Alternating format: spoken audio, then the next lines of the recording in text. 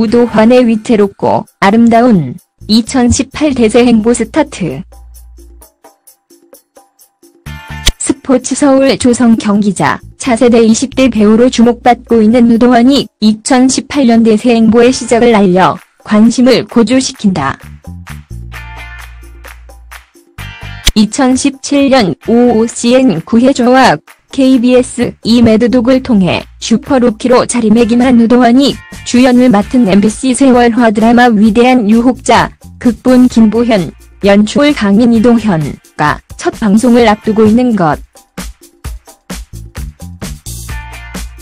위대한 유혹자는 청춘 남녀가 인생의 전부를 바치는 줄 모르고 뛰어든 위험한 사랑 게임과 이를 시작으로 펼쳐지는 위태롭고 아름다운 스무 살의 유혹 로맨스.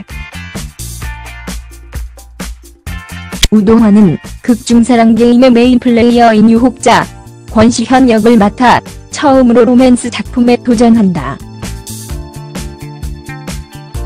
권시현은 치명적인 눈빛으로 상대를 유혹하고 마음만 먹으면 누구든지 자신을 사랑하게 만들 수 있다고 믿는 인물. 우도환은 박력 넘치는 짐승남, 부드러운 밀크남 등 캐릭터의 다채로운 매력을 흡수해 시청자들의 마음을 사로잡을 예정. 특히 철병력, 은퇴희, 박수영 분을 유혹하는 과정에서 온무파탈 매력을 발산, 봄날 연애 세포를 자극할 것으로 기대를 모은다. 또한 권시현은 JK그룹 부회장 권석우, 신성우 분의 아들이자 최수지 문가영 분, 이세주, 김민재 분과 함께 명문가 악동 3인방으로 불리는 트러블 메이커이기도 하다.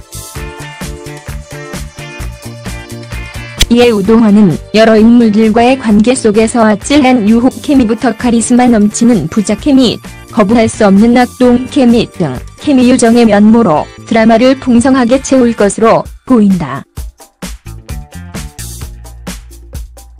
2011년에 데뷔해 단역부터 시작한 우동환은 2016년 KBS 요리집에 사는 남자 영화 마스터에서 강렬한 눈빛으로 존재감을 드러냈다. 그리고 2017년 9회 조합 매드독에서 주연을 맡아 안정적인 연기력을 선보이며 KBS 연기대상 남자 신인상을 수상, 명실상도 주목해야 할 배우임을 입증했다. 이처럼 무서운 성장세를 보이고 있는 우도환이 위대한 유혹자를 통해 차세대 로 코킹으로 거듭날 수 있을지 기대를 자아낸다.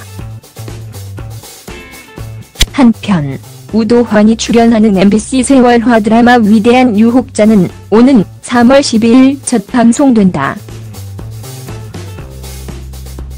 조, 네트, 스포시어월.com